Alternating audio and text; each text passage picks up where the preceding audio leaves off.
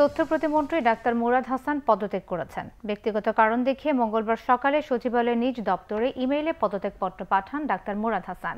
এখান থেকে cabinet division হয়ে তা প্রধানমন্ত্রীর কাছে পাঠানো হবে।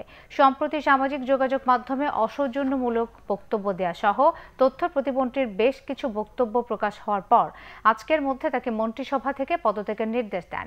এদিকে ডাক্তার মুরাদ হাসানের বিরুদ্ধে দলীয় শৃঙ্খলা ভঙ্গের জন্য আগামী কার্যনির্বাহী কমিটির সভায় সর্বোচ্চ সাজার সুপারিশ করা হবে বলে জানিয়েছেন দলের যুগ্ম সাধারণ সম্পাদক মাহবুবুল আলম হানিফ। অন্যদিকে গত চব্বিশ ঘণ্টা গণমাধ্যমের সামনে আসেনি ডাক্তার মুরাদ হাসান। তবে পদত্যাগের পর সর্বশেষ ফেসবুকে ভুল স্বীকার করে ক্ষমা চেয়ে স্ট্যাটাস দেন ডাক্তার মুরাদ হাসান।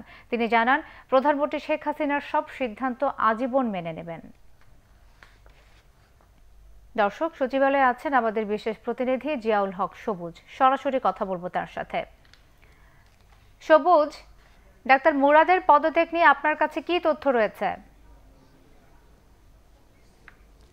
হ্যাঁ মিথিলা তথ্য সম্প্রচার প্রতিমন্ত্রী মুরাদ হাসানের পদত্যাগের বিষয়ে নতুন কোনো তথ্য আমার কাছে আর জানা নেই।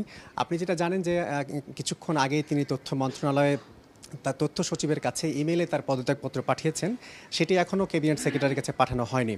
তবে আমাদের হাতে একটি পদত্যাগপত্র আমরা দেখতে পেয়েছি, একটা কপি, সফট কপি। সেখানে তিনি তার স্বেচ্ছায় পদত্যাগপত্র জমা দিয়েছেন এবং ব্যক্তিগত কর- কারণ দেখিয়ে তিনি পদত্যাগ করেছেন বলে জানিয়েছেন। এবং সেই চিঠিটি প্রধানমন্ত্রী বরাবরই লেখা।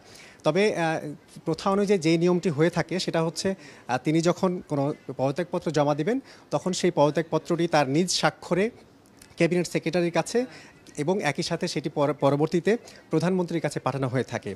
তো এই বিষয়টি নিয়ে আমরা এখন তথ্য মন্ত্রণালয়ের যে কনফারেন্স রুম রয়েছে সেখানে অবস্থান করছি। কিছুক্ষণ পরেই হয়তো তথ্য সম্প্রচার মন্ত্রী ডক্টর হাসান মাহমুদ বিস্তারিত আমাদের জানাবেন।